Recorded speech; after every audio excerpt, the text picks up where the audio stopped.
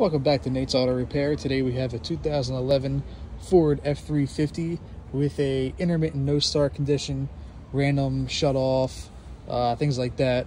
So this customer will be driving down the road and sometimes the truck will just shut off on them. It gives a starting system fault on the dashboard right here.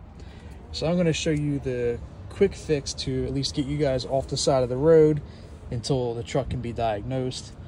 And maybe later on, once I figure out what is wrong with this truck, I will post exactly what the problem is for the permanent fix.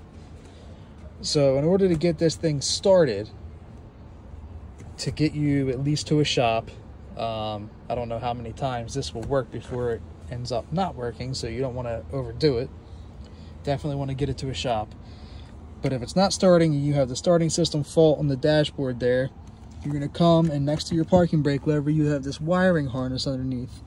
If you just jiggle this wiring harness a little bit, for some reason, I don't know if there's a wire loose in there or a bad connection, maybe even to the fuse box, but that will get rid of your starting system fault and it will actually let the truck start. Now again, you guys don't want to overdo this and you want to get it permanently fixed when you can